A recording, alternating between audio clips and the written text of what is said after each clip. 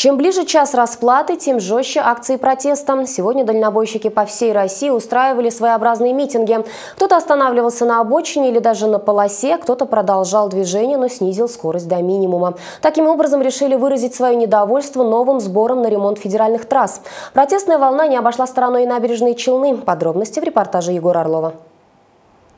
К сегодняшней акции они начали готовиться еще накануне, поделились работники одной из челнинских автобаз. В рейсы машины пойдут с табличками, где, как говорится, черным по белому написано, чем так недовольны дальнобойщики. Напомним, с 15 ноября за каждую фуру тяжелее 12 тонн до выезда в рейс придется вносить предоплату за каждый километр по федеральным трассам. Это серьезно ударит по бюджету крупных фирм-грузоперевозчиков, загубит небольшие компании, тысячи россиян останутся без работы, уверены специалисты отрасли. Смысла нет уже. Так что мелкие продают машины. А вот крупные организации как-то еще на плаву. Очень напряженная обстановка, потому что коснется это всех. И если на самом деле так и будет, то, скорее всего, придется закрываться, и водители останутся без работы. И по России очень много кто останется так без работы дальнобойщиков. Топливо дорожает, расценки не повышаются, а с дорог хотят содрать. Дорог-то толком и нет нигде. Одни ямы до кочки. Вот так и думайте сами. Ремонт машины сколько обходится. Еще за дороги собираются сдирать. Вот э, я не знаю, как дальше выкручиваться людям, вообще работать, не работать. Где и как поддержать акцию, челнинцы толком не договаривались. Как выйдут на федеральную трассу, либо остановятся, либо замедлят ход. Даже одна фура способна создать проблемы на дороге, если их несколько. Всего четыре грузовика практически перекрыли трассу М7 в направлении от плотины ГЭС к Орловскому кольцу, собрав за собой длинный хвост на первой автодороге. Но одну полосу все же оставили свободной. И так в 10 регионах России. Само собой, в Москве есть сообщения из Ульяновска и Ижевска. Совсем блокировать дороги не стали. Но ясно дали понять, что транспортный коллапс устроить могут запросто, соблюдая при этом правила. Никто ничего не нарушает. Сейчас гололед, скользко и водитель вправе выбирать ту скорость, которая ему позволяет правильно управлять автомобилем.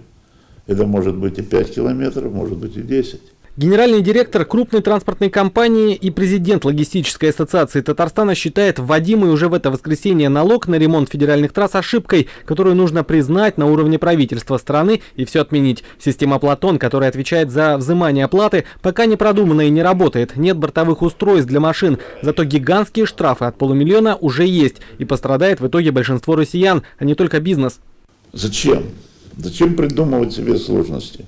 В конечном итоге значит, э, страдает тот человек, который является покупателем значит, э, продукции.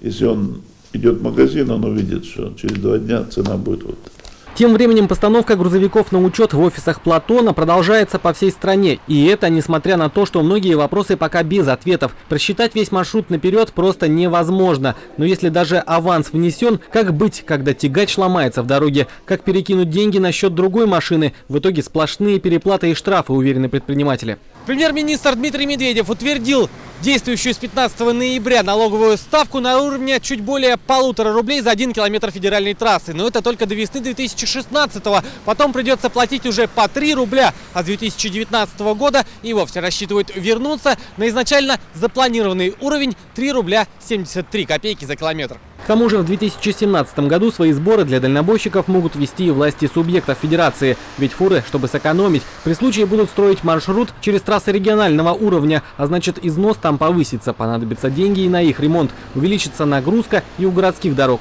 Вот у нас э, первая дорога, мы должны ездить по законам вот этого Платона. А мы завернем город, проедем по городу, уже в городе будет. Ничего не нарушая.